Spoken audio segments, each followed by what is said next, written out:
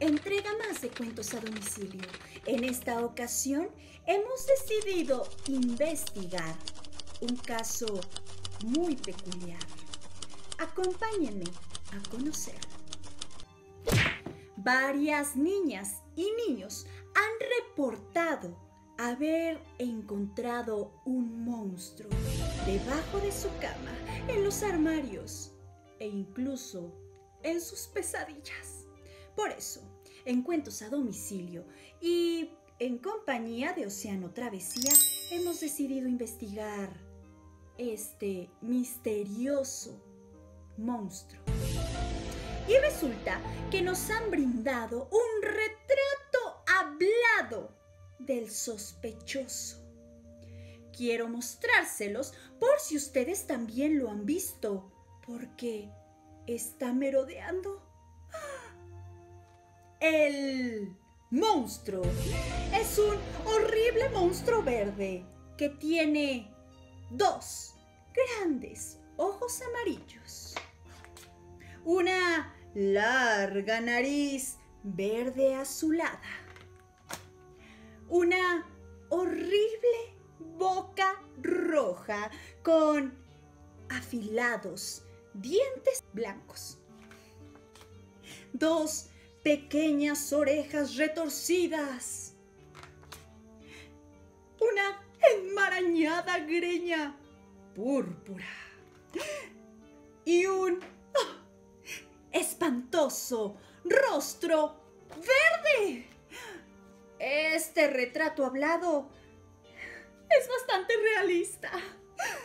Pero si ustedes lo llegan a ver en sus pesadillas, abajo de su cama o incluso en el armario, les daremos la clave para que el monstruo verde no les haga ningún daño.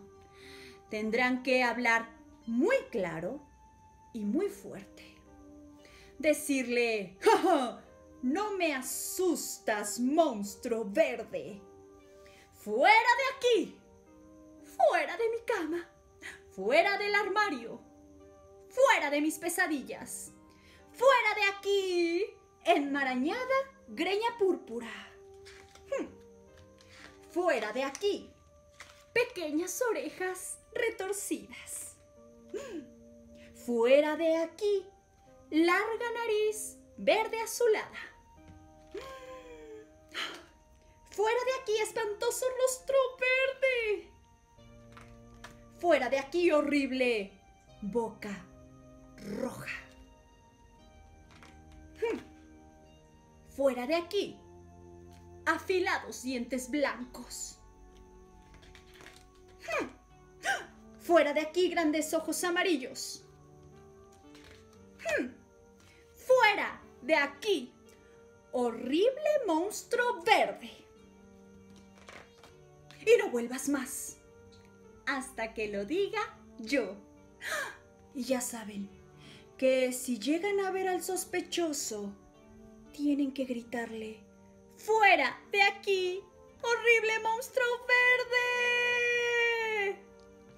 Y esta historia llega gracias a Ed Emberley y la pueden encontrar para que no se asusten más en tiendas en línea de Gandhi, El Sótano o incluso en Amazon. El regalo perfecto para niñas y niños que ya no están dispuestos a dejarse vencer por el monstruo verde. Hasta la próxima.